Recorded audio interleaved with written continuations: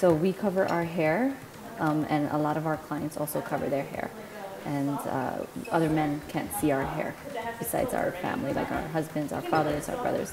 So, so we created this salon so women who, not even just for religious reasons, but other women who don't want men to see them getting ready, like with their hair in foils, or just like a, a place where women can be themselves and get pampered without having to worry about a man seeing them.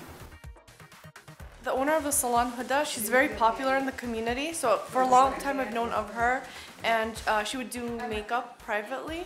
And then when she when she had her salon, everyone was talking about it. And I like that her salon is private because when we, whenever we cut our hair or my mom wants to dye her hair, we always have to like be put in the back room. You know, usually when you go to the salon, you want to go and you want to feel pretty, you want to feel like the most gorgeous woman in the planet we can't really get our hair done anywhere else because there's men constantly going into salons.